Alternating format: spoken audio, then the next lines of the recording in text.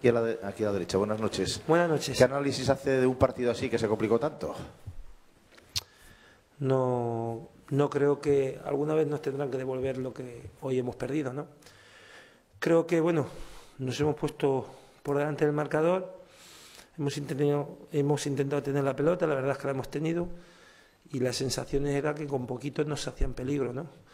Pero bueno, creo que si nosotros materializamos las que tenemos, el partido se hubiese resuelto antes, incluso con el 2-2 la que se saca bajo los palos, eso cambia mucho el partido. Mister, muy buenas. Eh, con la imagen ofrecida hoy por el equipo, ¿realmente ve al Sporting a final de temporada arriba? Sí, te lo digo rotundamente que sí. Es que ¿Cuál- después de una derrota es muy fácil eh, siempre eh, ser pesimista, pero yo creo en el trabajo que estamos haciendo y poco a poco vamos ganando muchos enteros en ciertas cosas, otras nos cuesta, pero hay que analizar también no ser resultadistas. Eh, con qué poquito nos han ganado hoy, nos han metido tres goles, ¿no? Creo que esos tres goles son defendibles y hay que trabajar para ello, pero pienso que el Sporting ha hecho mucho más para llevarse el partido hoy. En algunas acciones nos hemos precipitado, pero en otras hemos intentado tocar el balón tranquilamente y, hemos tenido mucha posesión. Si no, las estadísticas están ahí para algo, tanto en tiros a porterías como en llegadas al área, como en posesión. Creo que en todo hemos ganado menos el resultado. Y aquí lo que importa es el resultado. Creo que si el equipo va creciendo, vamos a estar donde nosotros nos merecemos. Alguna vez no devolverá al fútbol lo que hoy no hemos podido conseguir. Eh, mister, dos cosas. Eh, con el 2-2 eh, se van dos delanteros, eh, parece un poco extraño. Y otro arbitraje de los de agárrate que hay curva. ¿eh? Mm, Con el 2-2 no. Se van dos delanteros, pero Sangoy estaba con tarjeta amarilla y en el descanso me ha comentado que el árbitro le estaba amenazando de que le iba a mandar a la calle, que no podía hablar ni podía hacer nada y necesitamos ahí alguien que se pusiera a fajar con ellos y que, y que no sacaran el balón tan fácil como la sacaban en la primera parte con, con golpes directos, ¿no? Entonces hemos metido ahí a Carmona y a Mendy para presionar un poquito más la salida del balón suyo y creo que lo hemos conseguido, ¿no? Incluso ha sido los, momentos mejores del partido, ¿no? Creo que ha sido cuando el equipo ha estado eh, mejor porque recuperábamos el balón y tenía mucha, mucha entrada por banda. Trejo ahí, eh, lo que hemos conseguido con él es de que no perdiera los balones que nos ha perdido la primera parte en el centro del campo, que nos creaba mucho peligro, ¿no? Buenas noches. Eh, quizás llama la atención eso, ¿no? Que usted ha, ha perdido un poquitín de esa esencia que tenían los otros partidos. Venía jugando con tres hombres arriba y con el empate ha quitado a los dos delanteros ha dejado como referencia a Trejo, que es o es más media punta que, que delantero. Mm, ¿ha- ¿Son las circunstancias los que le han llevado a actuar así? pero el resultado de, de los cambios se ha visto, ¿no? Ha sido cuando el Sporting ha creado más peligro y ha sido cuando el Sporting ha llegado mejor.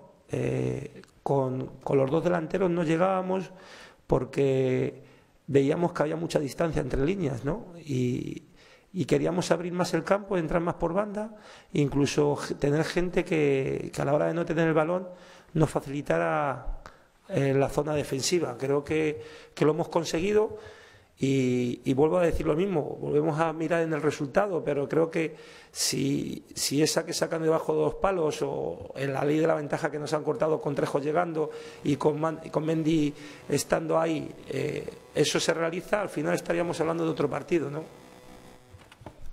Buenas noches, mister. Eh, ¿Cómo me valora la actuación de Juan Muñiz y sobre todo la de Borja López? Bueno, Borja López, pues bueno, ah, yo creo que ha empezado de menos a más y luego, y luego sin embargo, la última jugada de, pues ahí nos ha faltado un poquito más de carácter, ¿no? Eh, ese último gol que hemos encajado, pero creo que bastante bien, ¿no? Es un jugador que, que ha jugado mucho balones entre líneas, ha tenido esa paciencia, ha sabido defender. Lo que pasa es que el árbitro lo ha limitado con una tarjeta amarilla la primera parte y creo que él ha estado en contención en esa jugada, en esa última jugada. Si él no hubiese tenido tarjeta amarilla, creo que, su, juventud hubiese ido a, a defender el balón de otra manera, ¿no? Y, y de Juan Muñiz, la primera parte hemos querido eh, tener el balón más, lo hemos conseguido, pero creo que pecábamos mucho de que se metiera por dentro. Y bueno, al no estar Sangoy hemos tenido a Juan por si acaso cae alguna falta y luego que entre Cases y él organizaron un poquito más y hacían cambios de, orientación. Se ha realizado bien porque hemos hecho 3-4 a Mendy por banda que ha sido las jugadas del peligro y, creo que el equipo en líneas generales eh, ha ido sumando pero, pero creo que todavía le cuesta un poquito salir de, esa presión eh, mental de, creérselo. Se lo tiene que creer más el equipo, porque el equipo con 1-0 tenía que haber, ido más, haber, sido más vertical, no tanto pase horizontal. Y creo que, bueno, poquito a poco a ver si le vamos dando esa alegría al equipo que, creo que cuando sea valiente eh, lo conseguirá. Buenas noches, mister. Eh, todo el mundo entiende que usted lleva poco tiempo aquí, que está intentando inculcar una idea y construir un equipo, pero dice que todavía cree que el equipo puede llegar arriba. Sí. ¿Y a qué se aferra para eso? Porque, por ejemplo, reconoce ahora que el equipo le está costando coger esas ideas y ese espíritu de juego. Las distancias son abismales ya en la clasificación o pueden serlo. ¿A qué hay que aferrarse para creer? En el trabajo. Y creo que el trabajo que estamos haciendo día a día estamos mejorando. Lo que. Eh, nosotros creemos en lo que hay en el foro interno, ¿no? Creo que, el jugador está creciendo, yo veo un Canella más alegre, más llegando por banda.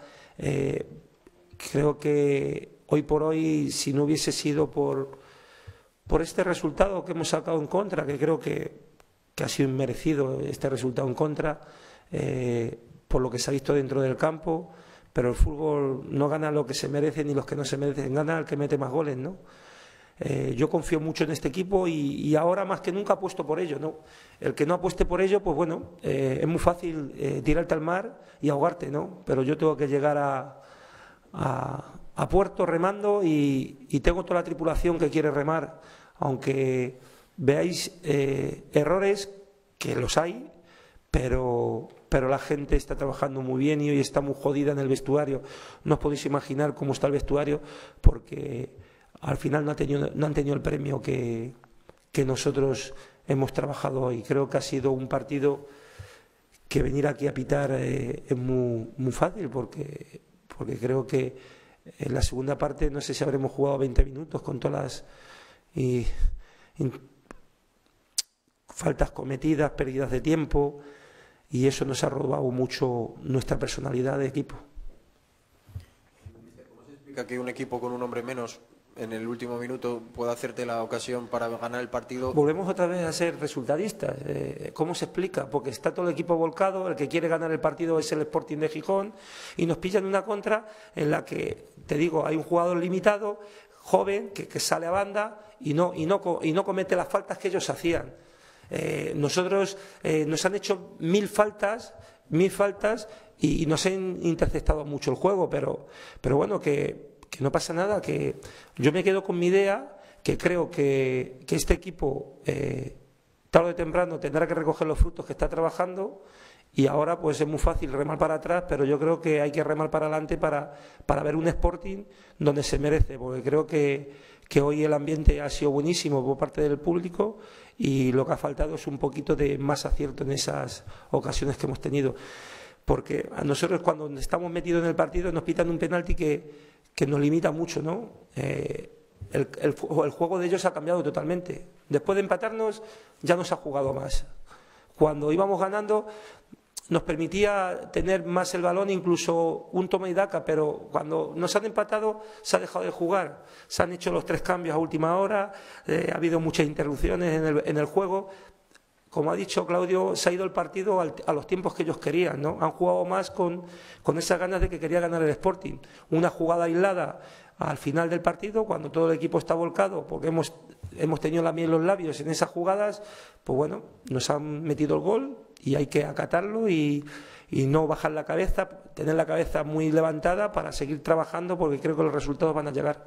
Y te lo digo que es que van a llegar, creo en ello. Mister, eh, ya dijo alguna vez, eh, usted de los árbitros no habla, pero hoy, ¿qué parte o qué le podemos eh, echar en cara o reprochar al colegiado?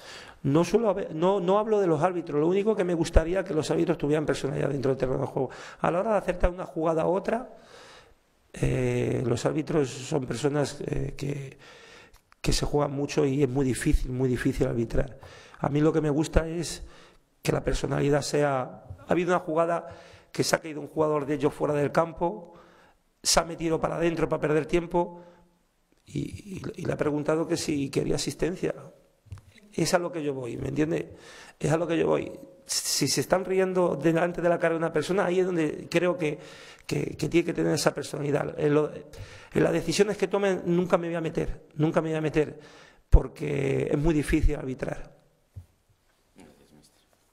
Muchas gracias.